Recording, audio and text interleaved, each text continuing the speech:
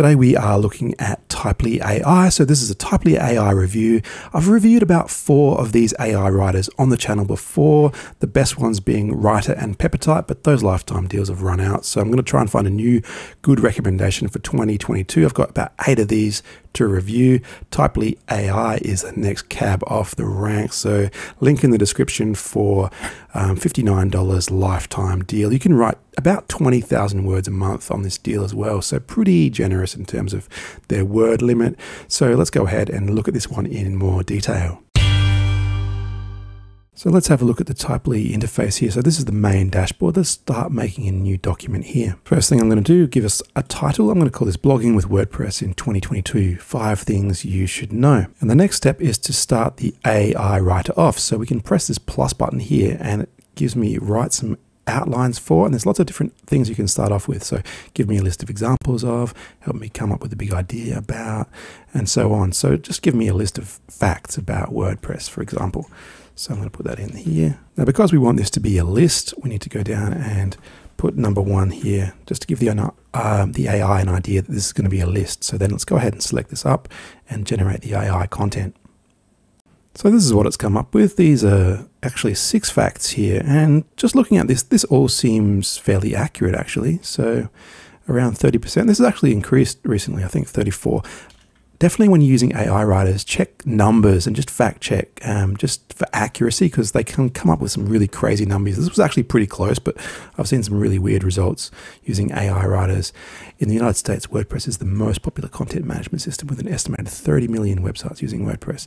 Okay, so this all looks pretty cool, and we might actually change this to six given that it's given us six just for convenience. Okay, so we can go ahead and actually flesh out these dot points and all we have to do to do that is just make a new line there, go ahead and highlight the text, then go ahead and generate some more content. Let's see what it comes up with here. So our heading here was WordPress is open source software and was the first blogging software to be open source. I'm going to change that actually to a um, H3 heading. So let's use it as a subheading.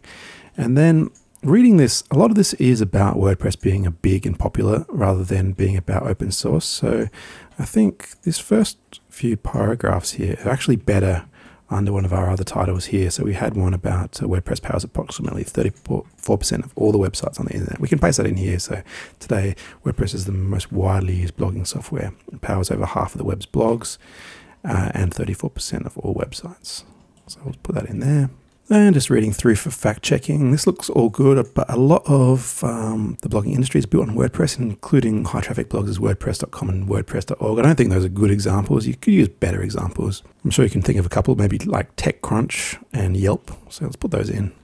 So I've just gone ahead and changed those examples. But yeah, um, again, with names and facts, numbers, just double check those and, and prove those where you can. But the actual flavor of the text is not too bad. So I'm going to, again, I'm going to change that to a, a heading go up to our second dot point and see what we can come up with. So I'll make that number one. Here we go.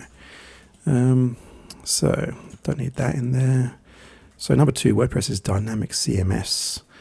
Let's see what it gives us for this. This is a little bit more technical. So again, let's try and see what it comes up with. I think when things get more technical, it can get a little weird. So let's see what we get.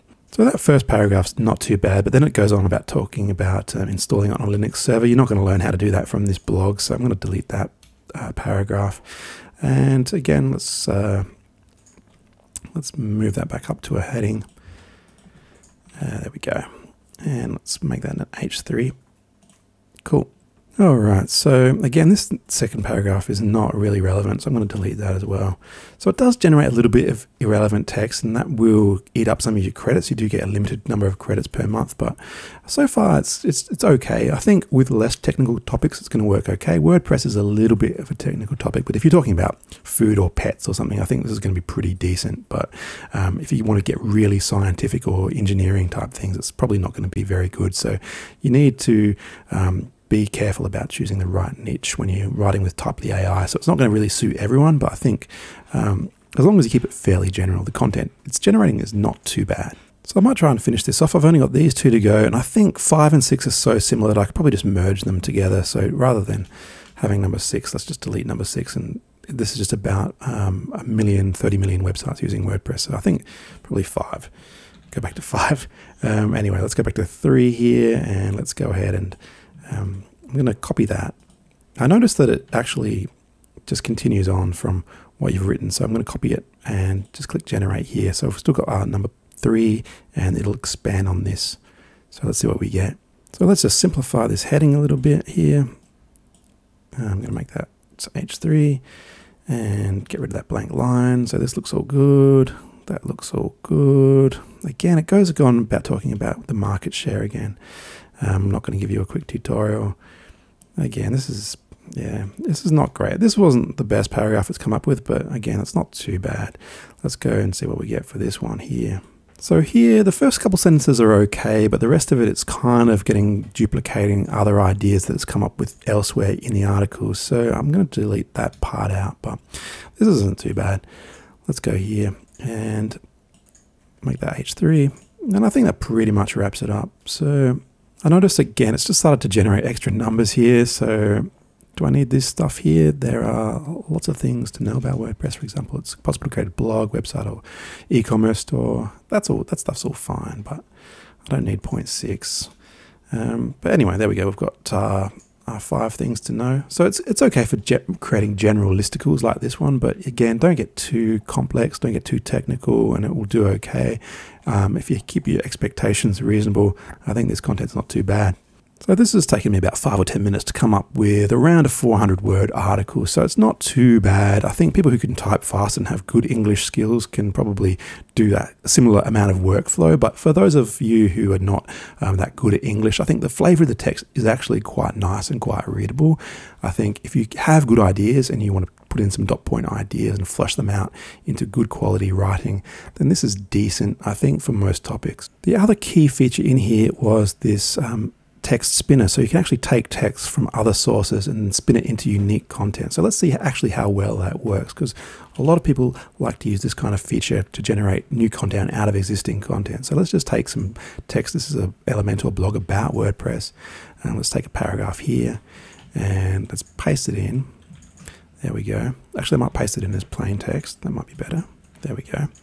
And then let's highlight this and let's spin it and see what we come up with. So looking at this, what it's come up with um, when it's been spun, I think a lot of the readability is gone because it's used adjectives that don't really fit. So if we were to compare that to what it was originally, I'll paste it back in here. So originally it says, yet the thing is when people think of WordPress, a lot of them still think it's only good for small to medium sized businesses. And the spun text is like this, yet the component is when people think of WordPress, a whole lot of them nonetheless think it's only desirable for small to medium sized enterprise websites or blogs. So it's uh, the words it's chosen don't really feel human. It just feels like it's um, it's robot generated. So this stuff, I wouldn't want to use this stuff on my blog at all. So I think the stuff that generates with AI is good, but the spinner, I think that needs to be updated and maybe use a bit of the um, the input from from this method rather than using this spinner because this is more of a an old school spinner that just changes words to synonyms and it doesn't it doesn't give very good output. But this is giving okay output as long as it isn't too technical. So overall, in terms of our conclusion, $59 for the lifetime deal. I think the value is there. It's getting three and a half stars on AppSumo. So I think that's about right. This is pretty decent, but it's um, not certainly not the best one that I've tried. Um, didn't give output as good as Peppertype or Writer, but I think this output was it was certainly a little bit better than what I got from AI SEO, which would go wildly off topic sometimes. But AI SEO had the benefit of having a very good spinner, like it could paraphrase really well. This text spinner really doesn't. Uh, it's really not up to scratch in terms of text spinning, but the AI wasn't too bad. I think for general writing, this isn't too bad, but I do want to try some other ones. I think this is is it's average, but um, hopefully it improves in the future. You can go ahead and try the free trial as well. You can write about 800 words on the free trial if you wanted to test it out. But there's plenty of other ones that I'll put in the description as well. I'm going to look at later. So there's Word Hero, Content Forge, Flacked AI. They reached out to me actually and they said they've got a big update coming in a couple weeks. So stay tuned for Flacked AI. Hit subscribe if you haven't already. I want to see how this one comes out because this has already got um, pretty good scores, but only five reviews. Thunder Content, um, I'm going to try that one out. There's Ellipsis, is a little bit more expensive and no review, so I'm not sure about that one. But Katteb is, I'm, I'm keen to try this one out. Um, only $29, um, full marks so far, so I might um, try this one out next. But yeah, let me know how you're going with your AI writing experience in the comments. But thanks for watching. I'll see you next time.